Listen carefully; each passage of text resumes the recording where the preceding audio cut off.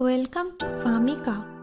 Today I am going to share some beautiful collections of Bengal handloom pure linen by linen full body checked worked Jayashree linen saris with blouse piece. Linen by linen means warp or weft based.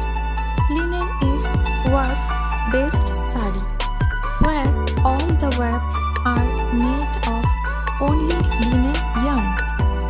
If we use linen yarn in both warp and weft, they are called linen by linen.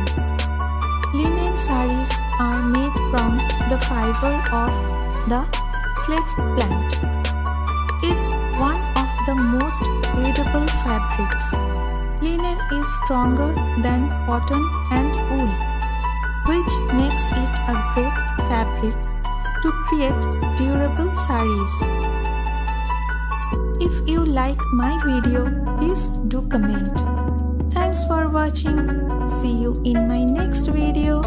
Till then, bye.